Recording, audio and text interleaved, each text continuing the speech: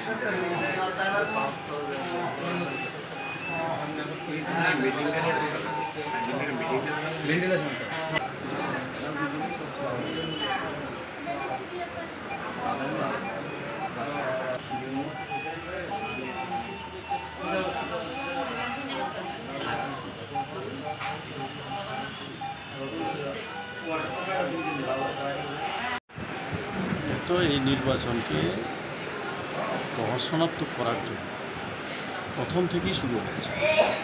মনোনয়নপত্র দাখিল করতে গিয়ে আক্রান্ত সর্বত্র।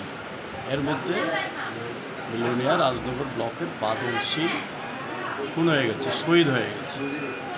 তারপরে থার্টি পার্সেন্টের মতো মাত্র মনোনয়নপত্র রইল। এগুলিতে ভোট হয়েছে, সব জায়গায় ভোট হয়নি। এজেন্ট যেতে পারেনি, ভোটাররা যেতে পারেনি। যতটুকু ভোট হয়েছে, গণনায় দেখা গেছে, যেখানে ভোট হয়েছে সেখানেই বিজেপি বিরোধীরা জিততে শুরু করেছে, বিশেষ করে সিপিআইএম। তারপরেই সর্বত্র গণনা কেন্দ্রে এই গণ্ডগোল শুরু করেছে।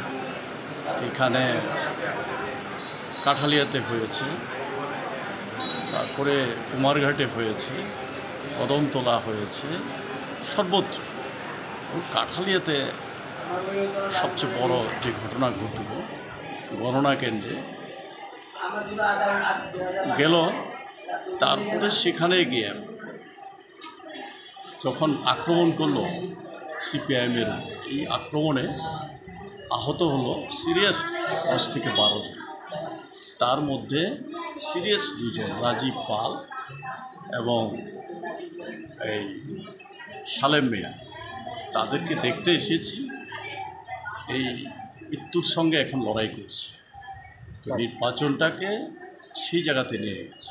আহতদের অবস্থা কি? আহতদের অবস্থা খুবই সংকটজনক। এই অবস্থাতে চিকিৎসকরা চেষ্টা করছেন। আমরা চাই দ্রুত সুস্থ হোক। যারাই এই সংঘর্ষে অন্যান্যরা আহত হয়েছে তারা প্রত্যেকে সুস্থ হোক এটা চাই।